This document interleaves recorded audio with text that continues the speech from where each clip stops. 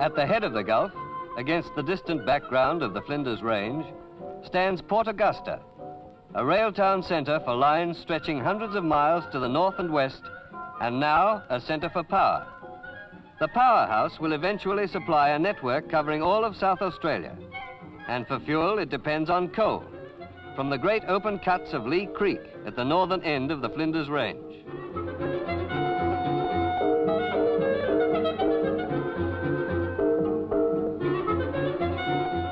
Leigh Creek is on the plain beyond the range, and man seems to have built mountains for himself. The heaps of overburden taken to lay bare the seams of coal beneath.